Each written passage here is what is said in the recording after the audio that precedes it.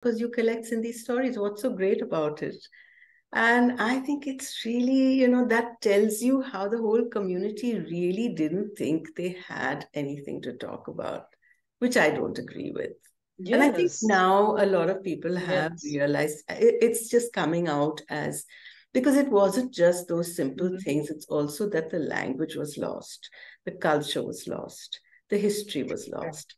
And those are so huge. I mean, they just kind of uh, unsettled, they're disorienting. The, the whole identity is in a flux.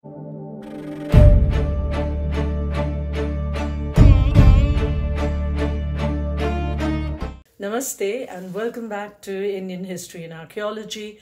I'm your host, Dr. Lajwanti Shahani, with yet another episode of Archaeo Talks.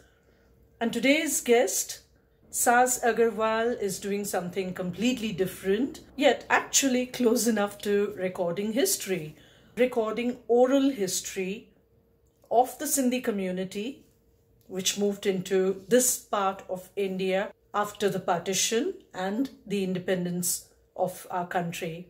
She has been collecting personal stories narrated by um, Sindhis. She has authored and curated these stories into books, some of these titles being Sindh, Stories from a Vanished Homeland, Sindhi Tapestry, Reflections on the Sindhi Identity and Anthology, The Amils of Sindh, a narrative history of a remarkable community, Today we're having a conversation about her latest book release. Being a Sindhi, this topic is absolutely close to my heart personally. And as an undergraduate student of history and, of course, uh, later archaeology, this region has been extremely close to my heart. I'm looking forward to this conversation with Saaz, and I hope you enjoy this too. First of all, congratulations to you. Lak lak vadayu. Thank you so much. Thank you so much. Your new book, Losing Home, Finding Home. Tell us more about it. Well, it's um, it's a book which puts together a lot of the research I've done over the last 10 years. Uh, it tells, it's a collection of personal narratives and it's uh, I, I think it kind of covers the spectrum of the story of what the Sindhis went through during partition. Uh, partly it goes back a little to tell the history that gave the people who were displaced the kind of advantages they had, the kind of skills they had, which helped them to settle. But it's it also, uh, so in a, in a sense, in that sense, it's a history book uh, but it also has a lot of images. And some of them are illustrations, which have been done by an artist. And the brief I gave him was that I mm-hmm. want them historically authentic because these are scenes for which we don't have photographs. And um, we did use some photos as references. I gave him a lot of descriptions, some of which I'd collected over the years through interviews. And he's done a really good job. There's a lot of detail but I've also used some uh, vintage photographs. So, uh, in that sense, I, I would also call it an art book. But then, you know, more than anything else, it's an inspiring book which tells you what happens when bad things happen to you in life, which happen to everyone at some point or the other, and um, the spirit with which you cope and you know how you bring your sense of creative enterprise to the fore and um, get cracking and you know overcome so that's actually what my book is about how would you explain the t- title to a non-sindhi I mean, I'm sure we have a lot of non-Sindhi audiences also. Oh yeah, uh, um, yeah. Especially and... in India, not many people really have a good understanding of the impact of the partition on Sindhis. You know, the Sindhi community. You're very right about that because Sindhis are seen as generally prosperous, well integrated. You know, they're seen as people who are solid. They're not seen as people mm-hmm. who uh, are unfortunate by any means, you know. And I think that's a credit to them that they dealt with their misfortunes in, in a very seamless kind of way. And that uh, people just haven't seen the huge loss that they um, that they made. So here, what we have is that they lost their homes, and then they didn't just find their homes. Of course, there was this huge process of loss and uh, reconciliation, and then um, you know putting, uh, gathering together strength, using uh, ideas and hard work, and being single-minded in their goals. So, you know, when I say losing home, finding home, it wasn't just that, uh, you know, the home was lost and then they found another home. Mm-hmm. Uh, it, it, there's a there's a long story in between also. So that's uh, that's how I would talk about the story. And I, I like the fact that you, uh, you know, brought this up that for non-Sindhis, uh, they don't really understand what happened. Yeah. Yes. The um, huge loss. It was a rebuilding. It was a rebuilding of lives, really. Rebuilding. Heroic, heroic rebuilding is the way I like to think about mm-hmm. it. Yeah. Yeah. So, what made you develop uh, an interest in the human stories behind the partition? Because that's what your book seems to be about, really. Yeah, yeah, yeah. Well, I, I I'm I've always been interested in human stories. That's my um, that's you know something that I do. Uh, but when it comes to partition, it's really quite unexpected. It wasn't something that was in my path, and you know uh, I knew it was there. It was completely by chance. The thing is that I'm a writer, and I've always been a writer ever since a very young age. And um, along the way, I began to specialize in working with people to help them write their memoirs. So that's actually what I do, that's my profession. But uh, at some point, I said to my mother, that you know i do this with everybody why don't you and i do this together and uh, I, at that point i was only thinking of something for the family so i said to her just tell me about what your life was like in sindh and um, you know, what it was like before there was anything, uh, you know, mm. nobody knew partition was going to happen. And then what happened during partition, and then what happened after that.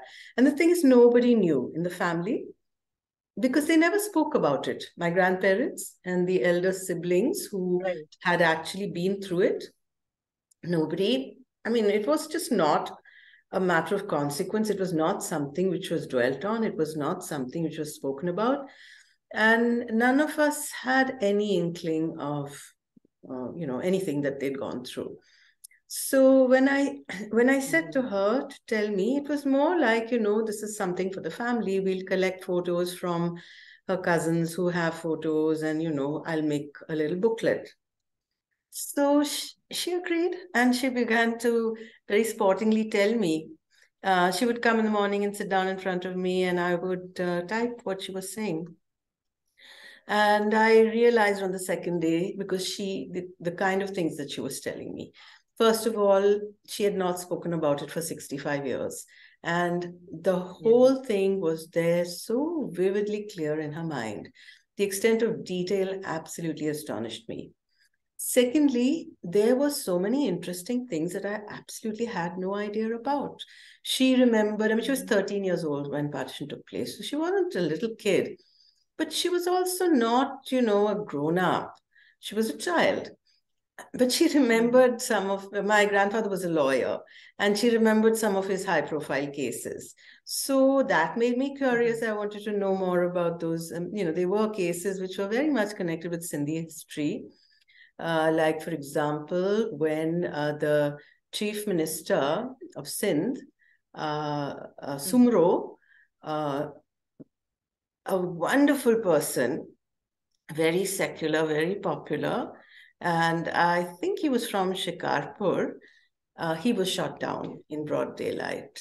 And um, the, uh, another senior politician, Khuhro, he was uh, accused. Now, there was a team of lawyers who got Khuhro acquitted and uh, one of them, uh, my grandfather was part of that. So I just found this really interesting. And later on, I realized what a complicated case it was because um, you know the whole course of uh, uh, Sindhi history and even Indian history may have been kind of influenced by uh, Soomro being killed and uh, the secular aspect removed, and it made it became just easier for Pakistan to be formed. But then there was also, you know, there were so many small things. For example, she remembered the date on which their ship arrived in Bombay, which I thought was absolutely oh. remarkable. Because, as I said, she was 13. So she told me how the ship, mm, you know, it was two nights on the ship. And then uh, on the third day, they could see the shore of Bombay, but they weren't allowed to land. They were told that they, uh, um, you know, they, they haven't, the ship hasn't been given permission to dock. So it was really scary because they did not know what had happened. They did not know why. They didn't know whether they were going to be turned back. And they'd left everything. They'd, you know, um, given away their stuff. Where would they go? What if they were being sent off to some third place where they didn't know anybody? So it was all like, you know, a time of great anxiety. Two, two, on, two nights they were like that. And then finally they arrived. And then she says, it was the 14th of November. So that really, really uh, surprised me. And, you know, of course, the fact that she remembered all this, there was a lot in there. And also the fact that I thought it was extremely interesting. And then I realized that nobody's really written about this, you know. There's not much known. We know yes. so much about Punjab and Bengal. There are movies, there are books, there are exactly. TV series. I mean, the two most famous I can think of are mm-hmm. Tamas and Buniyaad. And oddly enough, they were both written by Sindhis, but they're both about Punjab. Govind Nihalani and okay. um, uh, yes, yes, yes. Uh, You're right. And uh, Sippy. So you know, they they were both Sindhis. Mm-hmm. I but think the Sindhi story uh, was seen as inconsequential to make a case for uh, you know the traumatic events the uh, memories of traumatic events being kind of shut down by the community maybe because of the shock of it you know because they weren't expecting this to happen somehow for some reason maybe because it was comparatively more peaceful in sin yeah, yeah. but uh, would you agree that uh, we have something called inherited memories? I think in that's this particular case. I, I about, do agree uh, with that. I mean, people are talking about that more and more now. And uh, yes, I do feel mm-hmm. that uh, these things get passed down through the generations, generational trauma. Uh, uh, uh Sindhis mm-hmm. didn't speak about their you know they, they didn't tell their story and partly it's because they didn't feel they had a story to tell. And the uh, the you know the punjab story there was so much blood and every single family experienced Correct. horrific barbaric violence which uh, was not true in the case of Sindh. There was violence but it wasn't so widespread and so uh, rabid as uh, in punjab and bengal probably but yeah, there was definitely was violence. As a matter of fact, I had uh, done a um, college project during my undergraduate on, on this topic itself, and it's been many many years ago, of course. So I have to dig it out, and hopefully, if I can find it in my storage, you know, bring out all that material. Would be very very interesting reading at that. that point, I remember. Um, yes uh, so I was interviewing family and uh, friends basically who found it very strange, you know, that somebody wants to know about this. I mean, they just kind of moved on. Yeah, I get that all the time. But we they didn't to... feel they had anything to talk about. Uh, I had this one incident mm-hmm. where, you know, as I told you, I work with people to help them write their memoirs. So I did this with this Dubey gentleman from UP who was writing about his father, who was a freedom fighter and a social worker. And he was his he himself had been to jail, but his father, uh, who, who you know, he as a young boy, um, but his father had been in jail and a lot of work.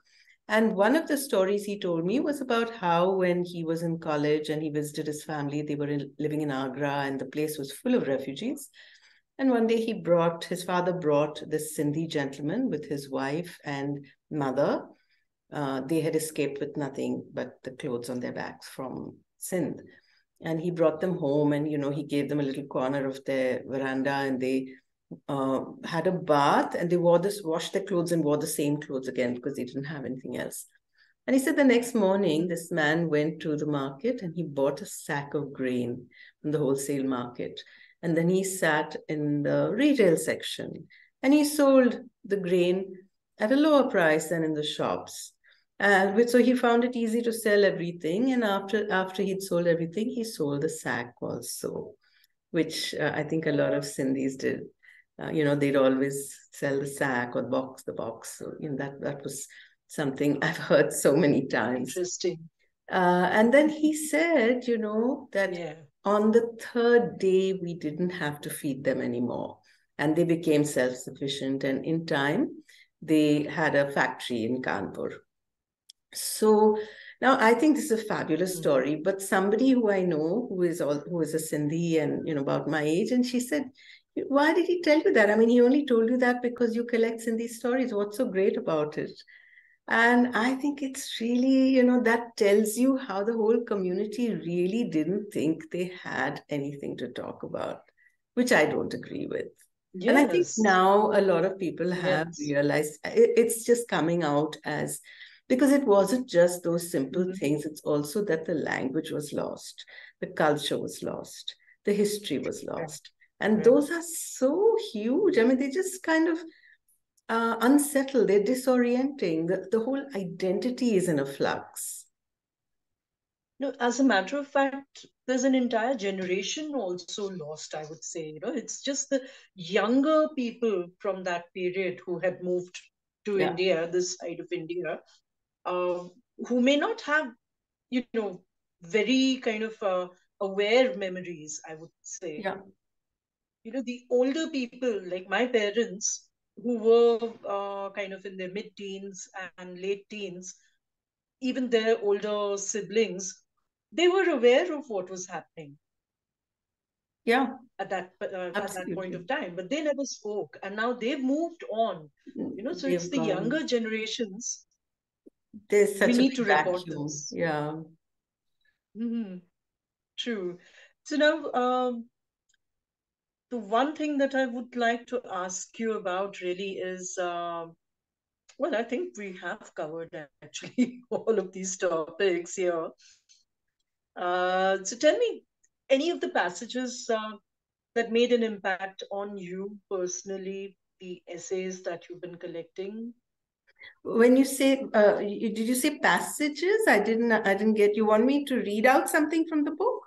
Um, Sure, sure, sure. No, anything I, I, that particularly um, uh, you know made an impact of any sort on you. You know, you uh, what you thought of it as such.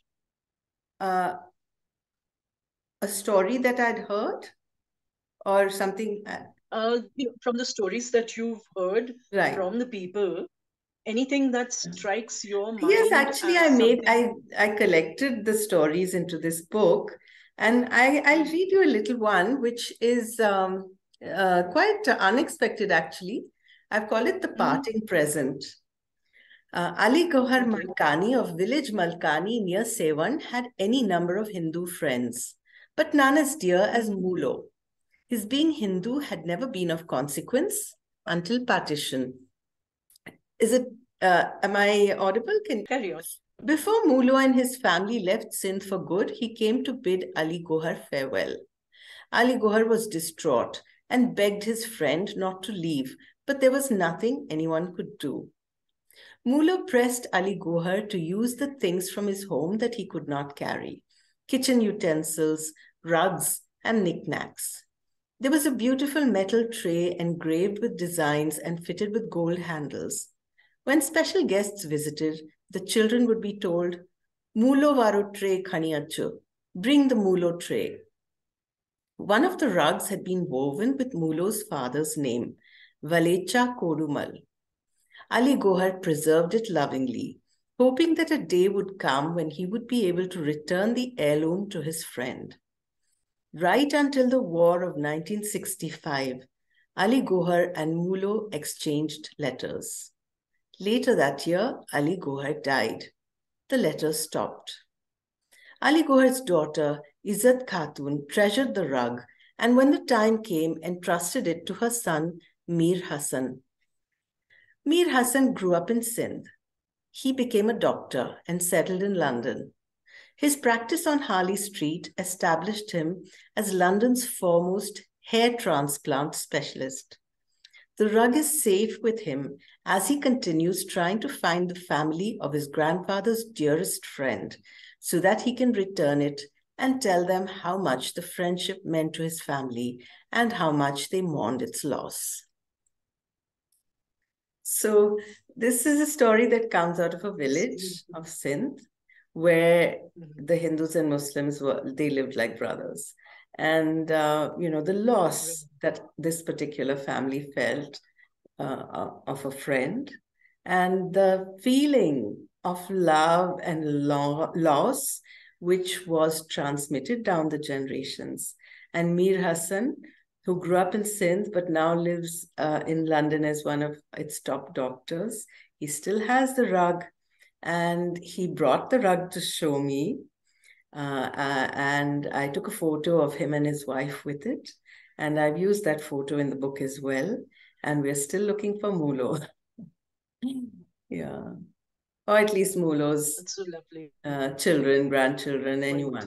All we have is the name uh, Valecha Kodumal, and of course the name of the village Malkani. Were you able to trace the family no, here? we keep talk. I keep talking about it. We haven't found him yet, but you know we still may. Uh, yeah. That's one of the reasons I put that.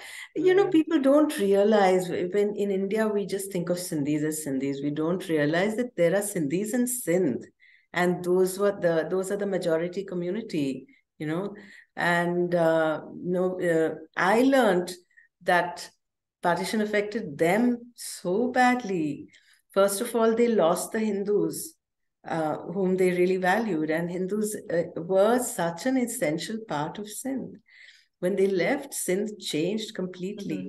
and their position was taken by outsiders yes.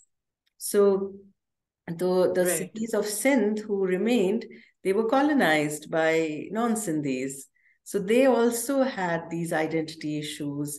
They also faced prejudice the way Hindu Sindhis face in India, you know. So it's like really, really mm-hmm. such an amazingly complex story. It's not just about trains filled with dead bodies and women being forced to jump into wells which people see as mm-hmm. uh, the icons of partition.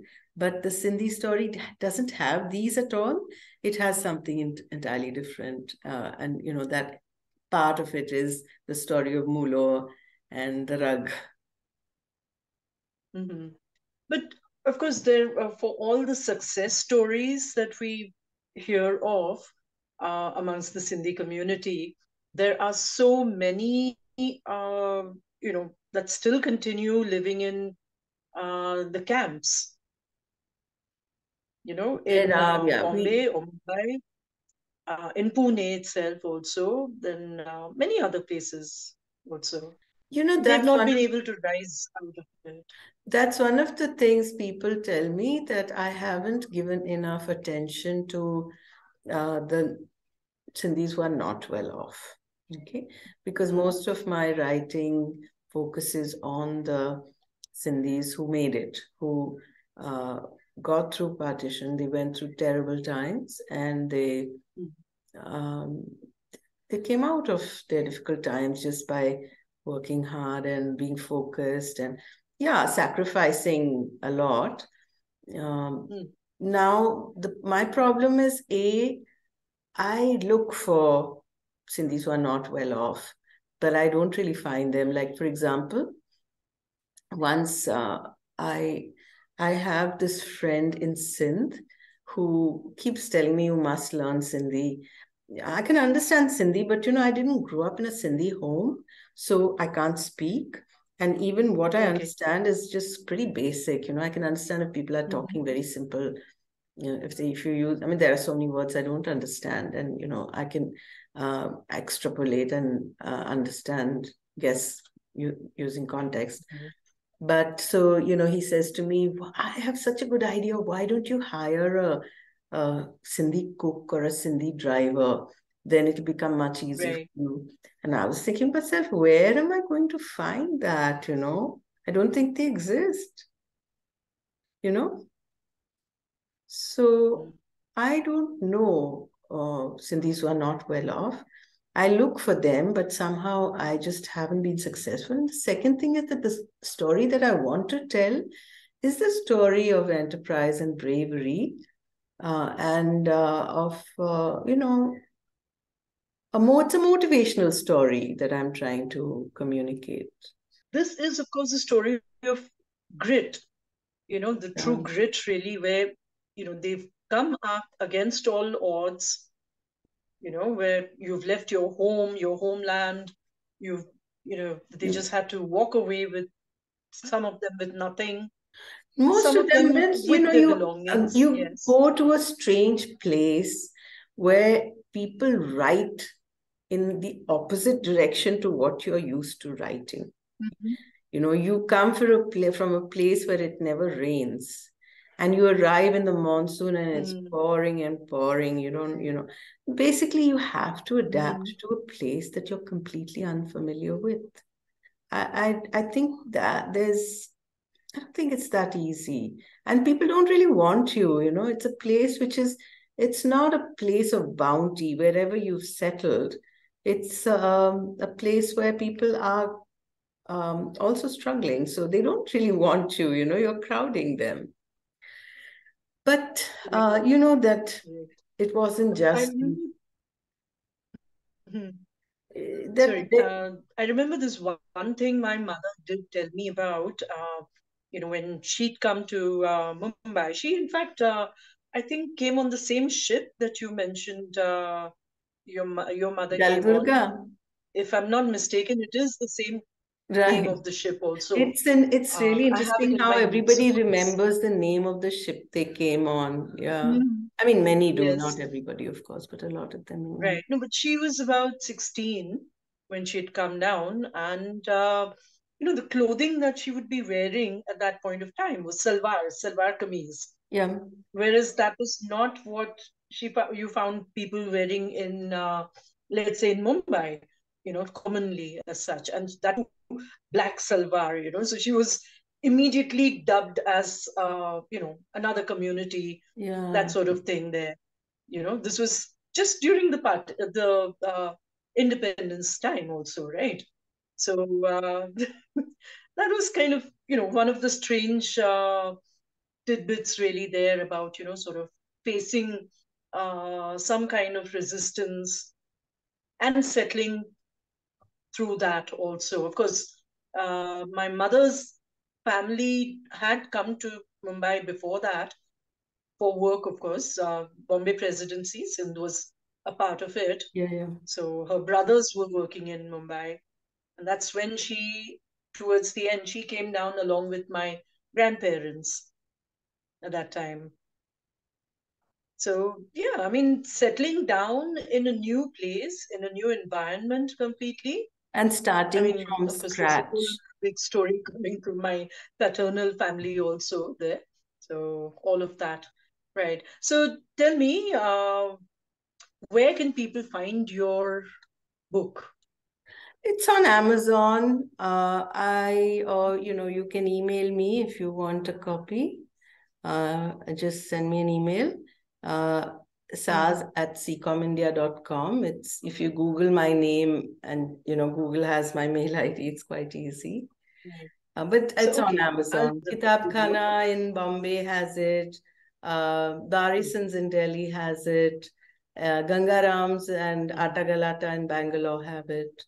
So the main bookshops in these cities Great. have got it. Wonderful, wonderful.